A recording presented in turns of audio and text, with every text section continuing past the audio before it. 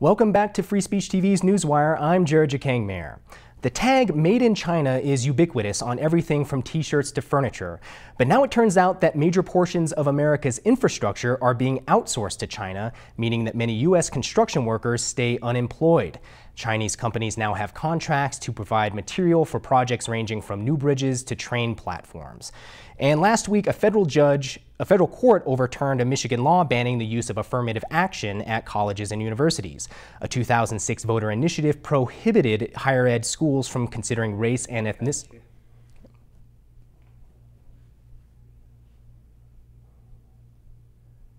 Court judge.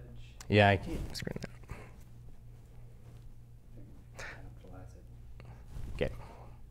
Federal court. a Federal court.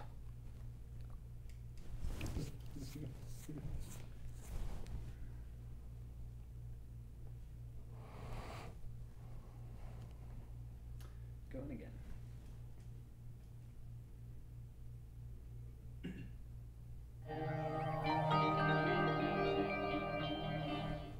Welcome back to Free Speech TV's Newswire. I'm Jared Jakang Mayer.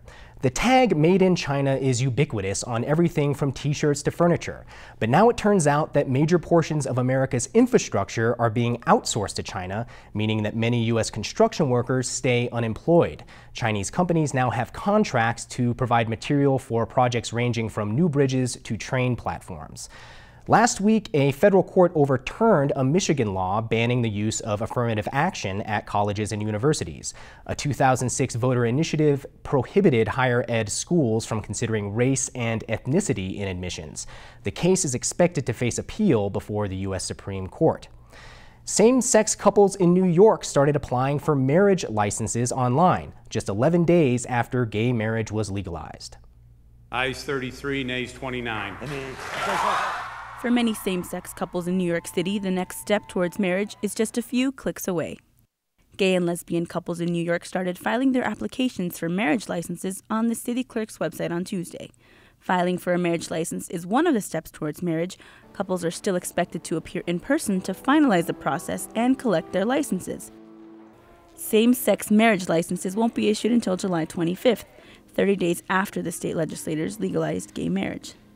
Many same sex marriage events are already planned for the day after licenses start getting issued.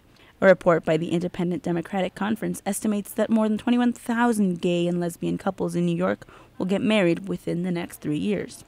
New York has become the sixth and most populous state in the nation to legalize gay marriage. This is Marcy Miranda for Newswire.